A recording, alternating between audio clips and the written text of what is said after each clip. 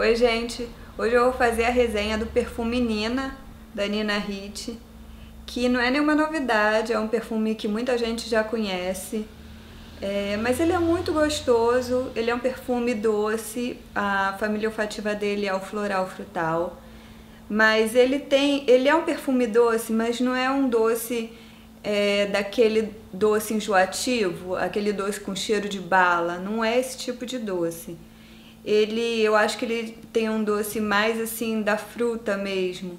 E ele também é um pouco, apesar dele ter o doce, ele é um pouco azedinho, ele tem um toque azedinho, sabe? Ele é muito gostoso esse perfume. É, ele é bom para ser usado qualquer hora do dia, da noite também.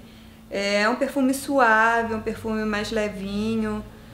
É, a fixação desse perfume em mim é absurda, ele fixa o dia inteiro. Eu já ouvi muitas pessoas falando que esse perfume não tem uma boa fixação, é, fixa muito pouquinho, mas em mim não. É, esse daqui meu é Eau de Toilette, ele nem é Eau de Parfum. Eu nem sei se tem Eau de Parfum dele, eu acho que tem. Mas o meu Eau de Toilette, ele fixa o dia inteiro na minha pele. Eu boto ele de manhã, de tardezinha assim, é, anoitecendo, ainda sinto o, o perfume. Esse meu aqui é o pequenininho, é o de 30.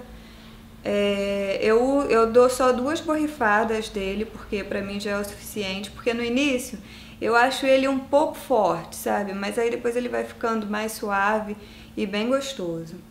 Ele tem notas de limão, tem nota de de maçã também, de macieira, tem cedro, é, tem peônia, tem. O que mais que tem? Tem musk. E ele é muito gostoso esse perfume, ele é muito bom. Eu acho que é um perfume também que tem muito boa aceitação, é esse aqui, o Nina. E como eu já tinha falado no outro vídeo, no vídeo do Eternity, que eu ia dar uma dica de um perfume que seja parecido, eu não achei nenhum que seja assim igual, como eu achei que o Eternity era assim quase igual ao Dreams, que dá até para confundir. Mas eu achei um que é muito parecido ao Nina, que é esse daqui, que é o Tati Prince da Boticário. É, ele não é idêntico ao Nina, mas ele faz lembrar muito. E ele é um pouco mais doce também que o Nina. Um pouco mais doce não, ele, eu acho que ele é bem mais doce que o Nina. É, até porque ele tem baunilha, o Nina não tem baunilha. E, e, as notas de limão que o Nina tem, eu acho que faz dar aquele toque azedinho nele, sabe? É, mas o Touch Prince também tem um toque azedinho muito mais leve do que o Nina, porque ele também tem limão, mas ele é bem mais doce. E a fixação dele também não é muito boa, não é lá grande coisa não, mas para quem quer uma opção mais barata, porque eu acho que o, o Tati custa, não custa nem 60 reais, acho que é 57 por aí. E ele tem 80 ml. Então acho que vale a pena. É, assim, para falar a verdade, eu não ligo tanto assim para fixação. Eu gosto de falar de fixação aqui, que eu sei que muita gente é, dá importância para isso. Eu não ligo muito não, se o perfume não tem lá uma boa fixação, vou lá, aplico de novo, pra mim tá tudo bem. Eu não, não tenho neura com isso não.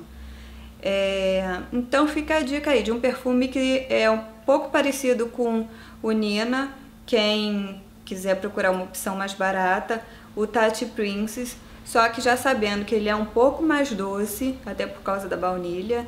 Tem um fundo azedinho também, mas ele é mais doce. E o Nina, que na minha pele tem uma fixação incrível, não sei é, na maioria das pessoas, mas na minha sim. É, que também eu acho que também agrada a qualquer tipo de mulher, qualquer idade. É, o Nina, o Tati Prince já é mais doce, acho que não agradaria tanto. é, para as que gostam do Nina, acho que sim, mas para quem está procurando assim não sabe ainda, eu acho que é bom dar uma passadinha lá na Boticário para para poder conhecer. Até porque o, o Tati Prince eu acho um pouco mais é, jovial. não, jovial não. Ah, não sei. Mais adolescente, não sei, acho que é isso. Mas os dois são muito bons, muito gostosos. Bom, gente, eu queria aproveitar também para dizer que eu faço parte de dois grupos lá no Facebook. Para quem gosta de perfume como eu, é bom dar uma chegadinha lá porque tem uma galera bem legal e eles é, falam sobre um monte de perfumes masculinos e femininos. Um é o Perfumólatras e o outro é o Parfum Brasil. São dois grupos muito bons, é, só sobre perfumes e quem gosta, eu acho que vai se interessar por esses dois grupos. Então é isso, gente. Espero que vocês tenham gostado do vídeo. Se gostou, clique em gostei. Quem ainda não é inscrito, se inscreve aqui no canal. E até o próximo vídeo. Tchau, tchau.